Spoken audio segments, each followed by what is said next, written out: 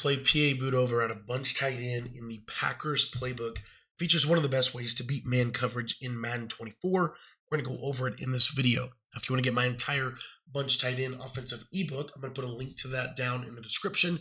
You can get the entire offensive and defensive ebooks, everything in the Patreon for just 10 bucks. It's going to get you access to all my offensive and defensive ebooks, as well as all of the updates to those ebooks and any new ebooks we release while your membership is active. So what we're going to do for this setup is we are going to zig the outside bunch receiver, and then we are going to slant the inside bunch receiver and streak the tight end.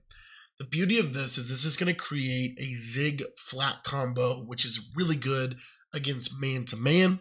And then this crosser this year, these crossing routes are pretty good um, at getting separation against man coverage. You're just going to freeform them to the open space. And as you can see, we're able to beat man coverage to the sideline over on that side of the field. So what this is going to do is they are going to have to basically user the crosser with their with their user defender. So if they blitz you, they're already going to have the entire middle of the field open, and you are blocking your running back. If they don't blitz you and they don't have any flat defenders, the slant will have time to be able to get open, and you can obviously juke in the open field. One of the best ways people are playing defense right now in Madden 24 is they are playing what I what I call basically a two man under, um, and essentially they're going to create this out of three three cub, and they're going to user the deep crossing route, of course. So when you run this play, what happens when you isolate this zig is a lot of times he's going to come in, cut out, and get separation against man, just like that right there. That separation is very consistent. Probably, honestly, from what I'm seeing in Madden 24, the zig route might be the most consistent man beater in this game for you. So you want to take advantage of it as we just did, and you want to utilize that to be able to beat any kind of man to man.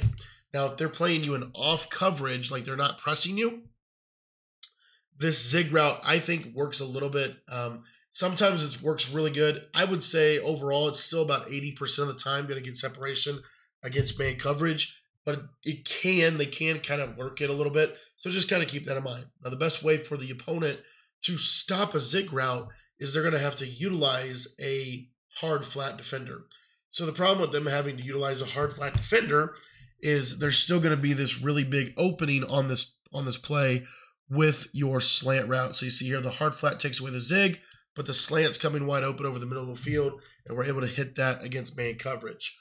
This is also this concept is really good against zone, and the reason what makes it good against zone is the fact that we have the tight end streak paired with the crosser. And so same kind of deal here, but basically this tight end is going to clear out any kind of deep zones, and you're going to throw this crosser in the intermediate right sideline of the field. Now, this is going to cause their user defender to have to go and defend the crossing route. Now, a good Madden player might have some, you know, some zones underneath to try to help this out a little bit what you're going to notice on this on this route concept is if they go to the crosser, the middle of the field is open right there. Just take the middle of the field when you have it open. With slant routes this year, they do some weird stuff, and, and maybe you'll see it here. What they'll do with slant routes, and I just don't understand what EA was thinking with this, but basically, this slant route will try to stop in the middle, but oftentimes he stops where this yellow zone is. So, what I like to do is just playmaker him up field and by flicking the right joystick up, and then I can kind of control the fact that he's going to continue to run. Now, if you let this all play out and you see this entire setup here, what you're going to notice is this slant flat concept or the slant zig concept is going to do a really good job late in this play. So they go there, the slant route, if I wait on it, I'm going to throw it right over here. And you see that it can get basically over the hard flat and underneath the deep blue zone. This allows us a lot of flexibility. And again, it forces the opponent to have to really um, respect the fact that you can throw this crosser.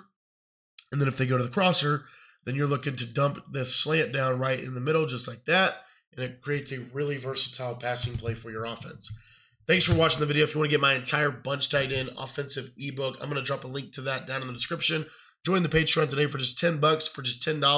You're going to get access to all of my Madden offensive and defensive ebooks, as well as all the updates to those ebooks and any new ebooks that we release. So make sure that you join the Patreon. You can do that by heading down to the description and clicking the link down below.